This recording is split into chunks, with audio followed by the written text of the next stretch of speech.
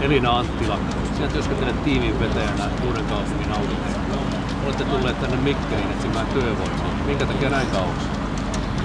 Etitään tuhatta työntekijää, niin, niin haetaan vähän, vähän kauempaakin sitten porukkaa. Tarve, tarve on kova, niin, niin, niin kierretään vähän Suomea.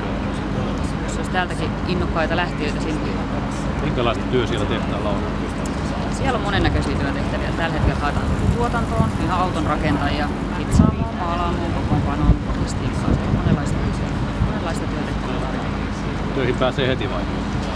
Pikkuhiljaa tässä kevään aikana otetaan ja, ja, ja kesällä mennään sitten, tulee jo kol- kolme vuoroa, niin, niin silloin viimeistään tarvitaan sitten paljon vuoroa. Tässä kevään aikana pikkuhiljaa. Miten tämä kiertue on onnistunut?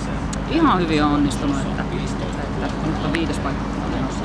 On ihan mukavasti ollut kiinnostuneita ja näin, näin kaukaakin tosiaankin löytyy, löytyy jotka, olisi valmiita sitten muuttamaan sinne kaupunkiin Tosi hyviä.